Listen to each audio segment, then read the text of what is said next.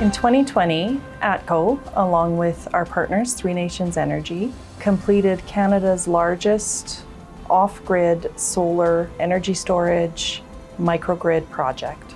It's uh, a great initiative in a quickly evolving field. Uh, for the time being, this is the uh, largest and first of its kind in Canada, so it was great to have been part of that journey. So, Fort Chipewyan is a remote community in northern Alberta. And traditionally, their electricity generation there has relied on diesel fuel. With the community, Three Nations Energy installed a solar farm. And so now 25% of the energy consumed in Fort Chipewyan is renewable, which has really helped the uh, carbon footprint of the community. And it has shown a new way of providing energy to these remote communities rather than relying solely on diesel. It's environmentally friendly, made at home solution. Uh, it reduces diesel reliance in the community. All diesel in Fort Chipewyan has to be trucked in on the winter road, um, which creates various uh, logistical challenges. And we're hoping that uh, this will also serve as an example for other remote communities in the north as to uh, you know what can be accomplished and uh, possible successful outcomes of such projects.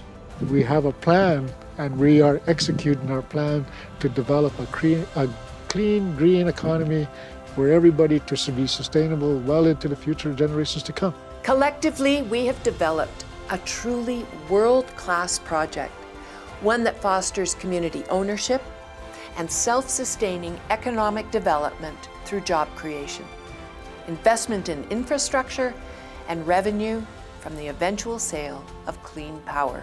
I think the factors that contributed to our success in this project was the successful and meaningful relationship building with the community and, and the Indigenous partners that we have in that community with Three Nations Energy, with our suppliers, our vendors, and, and everybody that, that came together to collaborate on making this project uh, successful. It's been a great experience and a very collaborative experience, both with ATCO and the three Indigenous ownership groups throughout the process. It's uh, an example of what can be achieved and change for the greater good at a community level.